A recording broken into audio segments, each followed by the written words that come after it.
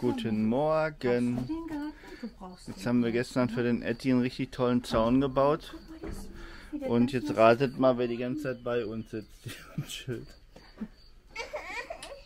Der Ettigong. Ja, ja, so ist er. So starten wir dann in den Tag. Wir haben Viertel nach acht. Wir sind seit, ich bin seit 5 Uhr auf, weil irgendwie konnte ich nicht schlafen, hin und her. Dann wollte ich ein bisschen gucken, online was machen.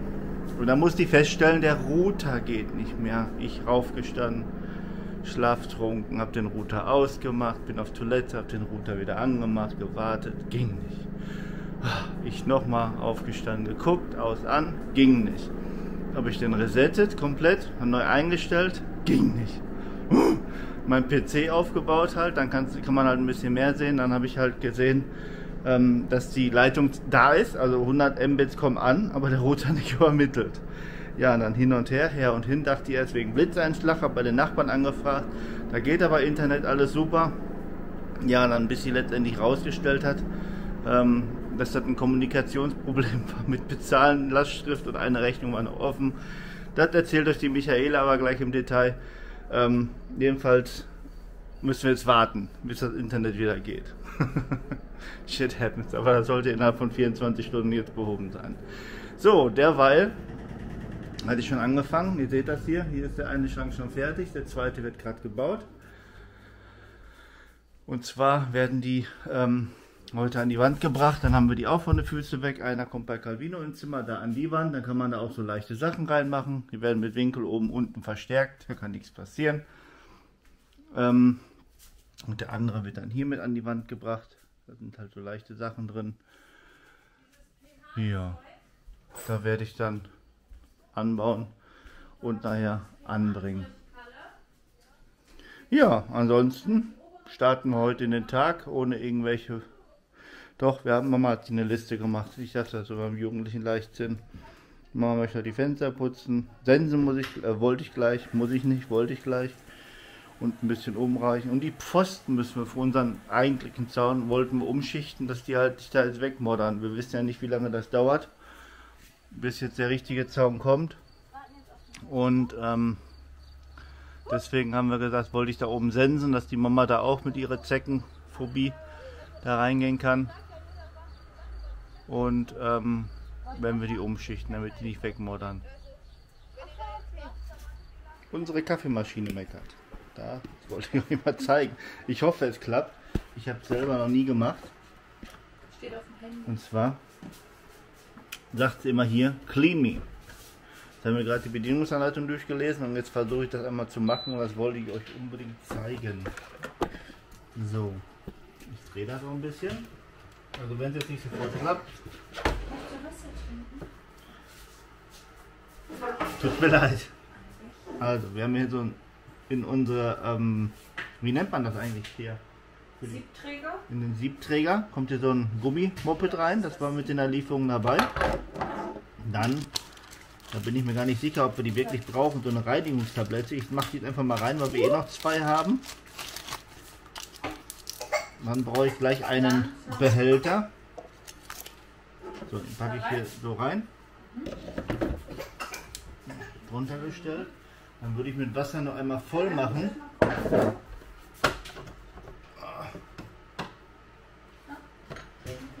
Das mal, wo ist unsere Wasserkanne? Machen wir einmal voll, weil in der Anleitung steht, dass wir das halt jetzt voll machen sollen. Da fehlt jetzt noch ein Schuss, aber Ja, Mann, das schmeißen wir jetzt im Müll. Brauchst du damit das wieder? machen wir mal lieber ganz voll. So, Du hier oder ich? So, dann ist ganz wichtig, dass wir was da drunter stellen. Da habe ich natürlich nichts vorbereitet. Dann haben wir irgendwie eine große Schüssel. Ja, hier unten im Eckschrank. Die passt aber nicht drunter.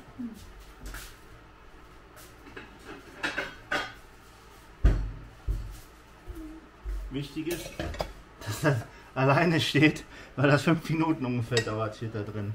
So, jetzt, um das zu starten, drücken wir die beiden Tasten und die Power-Taste gedrückt halten.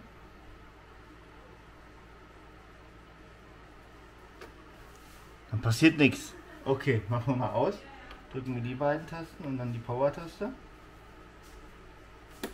Ah, also muss das Gerät aus sein, damit das läuft. Und jetzt reinigt sich das Gerät. Das dauert jetzt wohl fünf Minuten, das lasse ich jetzt natürlich nicht laufen. Ähm, aber ich werde euch gleich erzählen, was es gegeben hat. Es, na, ist es keine Pflicht, das zu machen, stand da drin. Aber ähm, es wäre halt von Vorteil, das zwischendurch mal zu machen. Ich lasse jetzt einfach mal laufen und erzähle euch nachher, was gegeben hat. So, die Kaffeemaschine hat sich wirklich selbst gesäubert, die Leitung. Es ist wieder blitzeblank. Der Kaffee schmeckt so gut wie immer. Keine Ahnung, ob das jetzt schon nötig war. Aber es ist ja keine Arbeit. Und ähm, dank Google haben wir da auch rausgefunden, in der, die Bedienungsanleitung hat gegoogelt, wie das halt vonstatten geht. Hat super geklappt, hat ge wenn ihr mal ein Problem damit habt, wisst ihr jetzt Bescheid, wie man die dann sauber macht, wenn da stehen Clean Me. So. Tada! Der ist auch schon an der Wand. Den haben wir jetzt oben und an den Seiten befestigt mit Winkel. Der andere steht da noch, den mache ich jetzt nicht. Olivia hat jetzt gerade geschlafen, da haben wir hier drin erstmal aufgeräumt, haben jetzt hier mit Milchglas die Fenster gemacht, wir kriegen ja Besuch. Einfach so, wenn wir halt abends Licht drin haben, dann kann man da nicht direkt reinglotzen und wir auch nicht immer rausglotzen. So gucken uns gegenseitig nichts weg. Da hat man doch ein bisschen abends dann für sich und fühlt sich nicht bespannt. Ja, dann habe ich hier ein bisschen ein paar Einlegeböden noch reingemacht. Dann habe ich jetzt hier so eine Steckerleiste mit angebracht. Dann ist dann eine USB-C ist hier und hier. Da ist für meine Uhr. Die kommt noch weg. Hier ist halt für unsere 18650 ähm, Akkus und die 21700er Akkus das Ladegerät und hier sind unsere Handys, die wir aufladen können. Dann haben wir da auch schon mal ein bisschen Luft und alles an seine Stelle. Jetzt habe ich mir das schon mal rausgesucht für das Fenster. Das passt für zwei Fenster. Das werde ich aber nachher erst anbringen, weil ich jetzt zuerst gucken wollte draußen an der ähm, an dem kaputten Hauswasserwerk, was ja so richtig viel Geld gekostet hat und am Ende noch Schrott war weil das voll Wasser gelaufen ist und wie auch immer. Jedenfalls wollte ich die abbauen. Ich suche gerade meine Rohrzange. Die habe ich jetzt wahrscheinlich wieder zurückgelegt in meinen Werkzeugkasten. Jetzt mache ich wieder alles Dreck. Vielleicht gibt es Gemecker, dann muss ich deswegen einmal. Ja, da ist er. Da wollte ich jetzt mal gucken, dass ich das alles abkriege. Und dann wollten wir das Loch äh, Pumpe halt raus. Brauchen wir nicht mehr. Der Brunnen ist ja nicht so ergiebig, wie wir uns das erhofft hatten. Und dann ähm, werden wir das zuschütten mit Erde. Dass wir dann eine große Fläche haben, da kommt ein Sonnensegel drüber und dann kann man da schön sitzen. Das passiert aber nicht heute mit dem Sonnensegel, das passiert irgendwann, das ist nur der grobe Plan.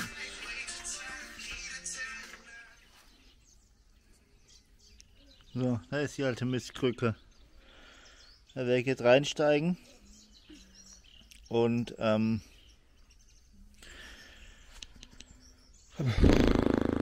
ja, raus versuchen zu bekommen.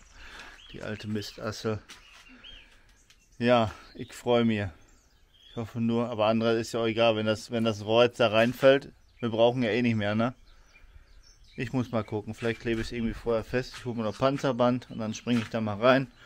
Und wenn ihr nichts mehr von mir hört, bin ich da immer noch drin. Ja fünf Nacktschnecken später, die mich geknutscht haben, war schon ein bisschen eklig da unten drin im Loch, äh, haben wir die Pumpe endlich ab. Ich zeige es euch mal. Und zwar, das ist die gute Pumpe, die wir damals für teuer Geld gekauft haben. Das ist die VB 25300. Wir hatten die 1500 für 200 Euro aus dem Baumarkt, 220 Euro aus dem Baumarkt geholt. Komisch, dass die Preise sich halbiert haben. Seit dem Zeitpunkt, wo wir die gekauft haben. Aber gut. Was soll man sagen dazu? Können wir jetzt eh nicht ändern. Ich werde gucken, ob wir die repariert kriegen oder vielleicht können wir die auch irgendwo verkaufen. Wir brauchen sie eigentlich so nicht mehr. Ja, ärgerlich, schade. Das Loch machen wir zu. Da habe ich erst wieder eine provisorische Palette draufgelegt, damit keiner der Kinder da reinhoppelt. Ich bin echt ein bisschen jetzt enttäuscht, dass das so eine günst also das günstige, die kostet jetzt 180 Euro im Baumarkt hier. der Installateur, der war aus Österreich. Aber meinst du in Österreich, man, ja, egal, es Aber ist wie es ist. ja auch die Arbeit, die wir bezahlt haben. Ja. Und dieses Und diese Kiste, aber trotzdem waren das knapp 1000 Euro für Ja. alles. Ja. Und deswegen bin ich ein wenig zerknirscht. Und das Rohr da dran. Livia, geh mal weg da. Mäuschen. Geh mal weg, du brauchst das Loch nicht gießen. So ist er. Wie gesagt, da. Bernd, wo ist denn die andere Latschen, weißt du das? Papa sucht jetzt den anderen Latschen. Bis gleich. So, das ist einer unserer Aus Draußenstühle. Der ist leider auf dem Umzug kaputt gegangen. Und ähm, dann machen wir jetzt mit den Scharnieren, wir halt gefunden im Garten, damit wir das jetzt stabilisiert. Da war halt ein komplett Reihe abgebrochen. Genau. Den haben wir mal vom Sperrmüll gerettet, den Stuhl. Dann kann wieder jeder Dickfrosch. Falls ihr euch wundert, was das hier soll, ich sitze hier nur im Schlüppi und wollte euch den Anblick ersparen. Alle schreiben bitte Danke in die Kommentare. Voll. Ich euch verscheuche. Das reicht doch so, oder? Machen wir da noch zwei rein. Kostet ja nichts. Ja. Ich mal den dann bunt an. Dann will Obi wieder welche mitnehmen. Brauchst du auch Schrauben? Schraube locker, mein Schatz. Sie will auch Schrauben in Löcher stecken. Der Papa gibt dir gleich welche. Ab in die Küche. So, Pumpe ist fertig. Hab ja gezeigt. Und jetzt wird gekocht. Papa darf Kartoffeln machen, die lege ich immer schön ein. Die habe ich schon vorbereitet. Ich vergesse euch mal mitzunehmen. Das habe ich schon gewaschen. Die werden jetzt in kleine, ähm, so wie Kartoffelecken halt geschnibbelt. Na, hat sie schon wieder. So. Und dazu habe ich, boah, der jetzt da oben liegt, da hat geklackt. Ich dachte, da kommt mir irgendwas entgegen. Dazu ähm, habe ich die Tage schon vorgestern Gyros eingelegt. Also unser Gyros halt, das kein normales für Essbehinderte. Aus Sojakanu, aus Sojaschnetzel haben wir schon eingelegt. Ähm, gewürzt, die Zwiebeln. Das ist richtig schön durchgezogen. Da haben wir es. Na komm, meine Güte, was ist mit dir? Irgendwie folgt sie nicht mehr so schnell, wie ich das gerne hätte. Das rühre ich jetzt durch, lecker angebraten. Dazu gibt es ähm, gewürzte Kartoffelecken aus dem Backofen und nicht frittieren, das können wir nicht mehr so langsam. Und dann denke ich mal so in einer halben, dreiviertel Stunde wird dann schnabuliert. Ja, das gibt es bei uns heute zum Mittagessen. Essen wir super lecker. Sind also satt geworden. Ein paar Kartoffeln zu viel, aber das snacken sich die Kinder immer abends dann noch weg. Und ähm, ja, Michaela hatte euch ja schon erzählt, dass wir ein paar Probleme hatten mit dem Pool. Und zwar ist der pH-Wert hier immer extrem hoch. Kalle, nimmst du mal mit? Und ähm, jetzt ist unser ganzer pH- aufgebraucht und der ist bei 8,2. Ja, nein, wir packen den Kindersitz nach hinten natürlich. Ähm, wir haben den, kein pH- mehr. Und da wir morgen Besuch bekommen, fahren wir jetzt nochmal in die Stadt. Hier in der Gegend gibt es leider nichts. Unsere Freunde hier haben auch nichts leider, was die uns leihen könnten. Ja, bevor das Wasser kippt oder wir Probleme kriegen hier mit Hautreizung etc. pp. Düsen wir nochmal eben jetzt in den Abendstunden und also Calvino kommt mit, der wollte noch was beim Müller holen ähm, und holen das eben noch aus der Stadt. Dann wollten wir noch mal eben Aldi rein Brokkoli holen, wenn wir schon mal da sind. Und dann gibt es dann Blumenkohl-Chili mit Brokkolinski. Ja. Und und das DM noch ganz kurz. Taschentücher, Boxen schon mal, weil soweit haben wir alles schon für unsere Reise. Und das würden wir dann noch holen eben. Ja, ich erzähle euch später, wie es war. So, wir sind auf dem Rückweg. Wir haben alles bekommen. Die Praktika. Ich habe meinen PA- bekommen. Das hat knapp 6 Euro gekostet. Aber noch Chlortabletten. Jetzt keine Langzeit-Chlortabletten, die hatten sie da nicht. Aber normale Chlortabletten, da müssen wir immer zwei Stück am Tag dann halt reinwerfen in den Skimmer. Gibt Schlimmeres, ich denke mal Ende nächste Woche, Anfang übernächste Woche, wenn wir den Pool, äh, Ende dieser Woche schon, Anfang nächster Woche werden wir den Pool wieder abbauen, da soll es ein bisschen schlechter werden vom Wetter und dann so langsam geht ja auch unsere Reise dann los. Dann haben wir noch ähm, im Tesco Calvino seine heißgeliebten Karten bekommen, die er sammelt. Da haben wir noch kurz einen Abstecher gemacht. Und ähm, Brokkoli haben wir gekriegt im Lidl. Und für ein paar Kleinigkeiten haben wir da auch noch, haben wir da auch noch bekommen. Und jetzt sind wir auf dem Rückweg. Keine Angst, ich halte die Kamera nicht. Der Calvino, so kann ich gleichzeitig erzählen und auch fahren.